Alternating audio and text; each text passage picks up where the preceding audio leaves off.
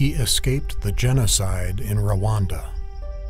There are tens of thousands of people um, living in tents. Uh, there's no food, people are starving, and there's no clean water. and kids are dying because of you know diarrhea or all these diseases.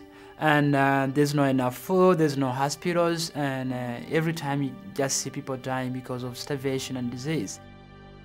He made a deal with God. I remember praying to God. I was like, God, if you see me through with school, I'm going to spend the rest of my life serving you, serving the orphans, serving the widows, and, and the less fortunate. He has a reason to live. Towards the end of my um, undergraduate, uh, I was thinking about something big. 65% of the people in Rwanda live under below a dollar a day.